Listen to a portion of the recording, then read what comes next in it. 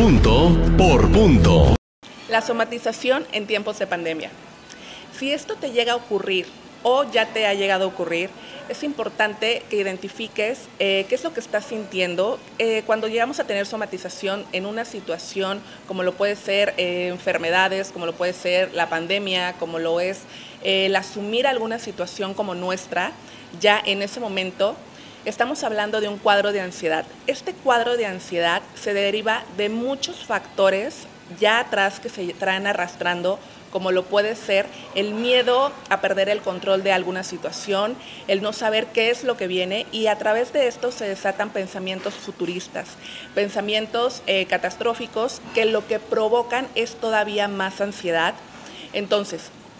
cuando tú puedas distinguir entre la realidad, eh, que sí vivimos una pandemia, que sí estamos eh, en cierto grado eh, en el cual tenemos que tener cuidado, distancia, entre otros factores, y qué es lo que en este momento de tu vida está generando esta situación, cuando tú puedas hacer esta distinción, vas a lograr conectar con estas emociones que no te estás permitiendo conectar precisamente para bajar el nivel de ansiedad, para bajar esta somatización ¿Cómo te vas a dar cuenta si es una somatización o si es una cuestión real? Eh,